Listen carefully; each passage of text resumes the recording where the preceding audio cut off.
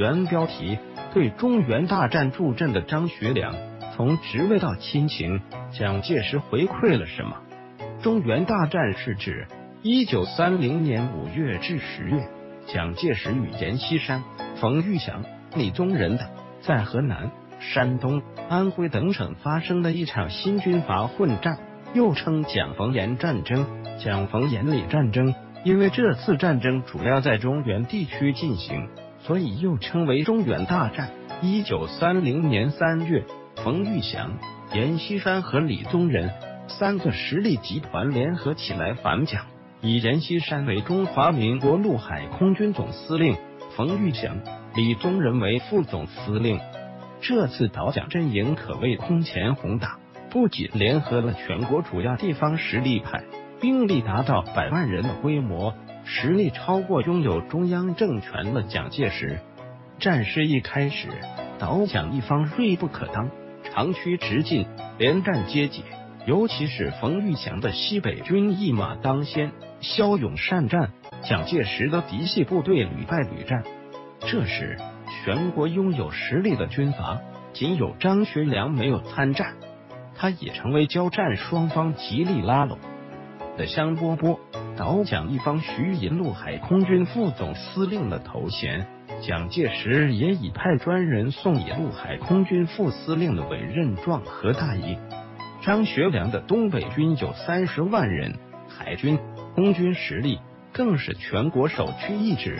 东北经济发达，后勤资源丰富，先进的东北兵工厂结实一例。谁赢得了他的支持？谁就赢得了战争，他也成为楚汉相争中的韩信，两主之命陷于足下，足下为汉则汉胜，与楚则楚胜。张学良起初表示中立，一再奉劝各方西征，但内心还是倾向于蒋介石。张学良权衡时局，最终决定出兵关内，调停内战，派出十万精兵支持蒋介石，从背后进攻到蒋同盟。张学良出兵助蒋的消息一传出，兵锋尚未入关，倒蒋一方便知道末日到了。仅仅十几天后，入关的东北军占领了整个华北，战局急剧变化，倒蒋联盟军迅速土崩瓦解。一九三零年十一月四日，阎锡山、冯玉祥二人通电下野，陆海空军总司令部也宣告取消。中原大战以蒋介石取胜而结束。之后，冯玉祥的西北军、阎锡山的晋军、李宗仁、白崇禧的桂系部队如落日黄花。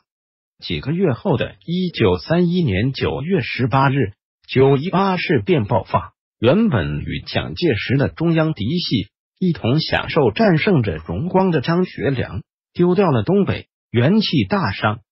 客观的说。在张学良协助下，取得中原大战完胜的蒋介石，从此真正说一不二。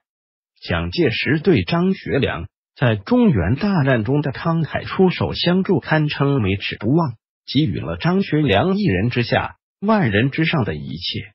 具体表现如下：一，正式委任张学良为中华民国陆海空军副司令，负责节治疗及黑晋察。热、绥、冀八省军队以及北平、天津、青岛三市与河北、察哈尔两省。二，一九三零年十一月，蒋介石邀请张学良赴南京，给予极高的礼遇。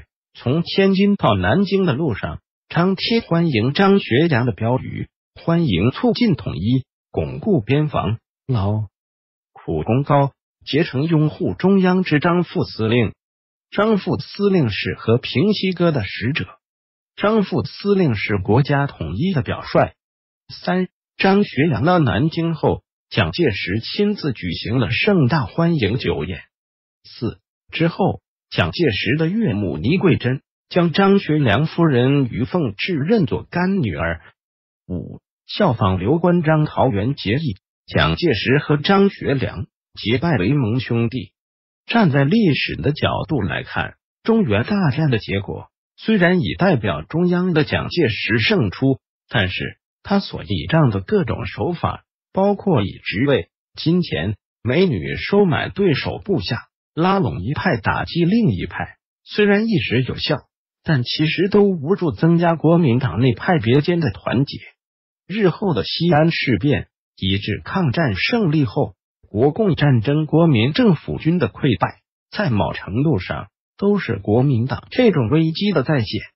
但是蒋介石当时所做的这一切，令张学良一时兴奋不已，说学良此次来国府，受到蒋主席极为热忱之欢迎，规格之高，使出学良的想象。返回搜狐查抗更。多责任编辑。